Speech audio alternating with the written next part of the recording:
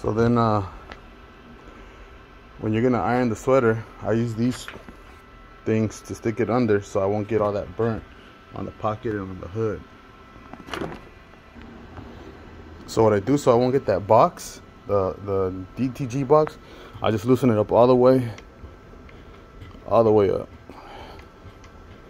I hit it usually with 300 degrees, 320, but it's burning starting up, so hit it all the way up and then just let it sit on it for a little bit and it reduces all the DTG box.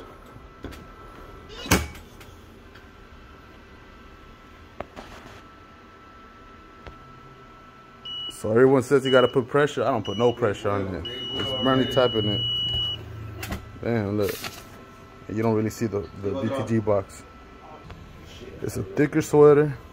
You can see the box, it looks bad in the, on the camera, but can't really see it when you see it in person.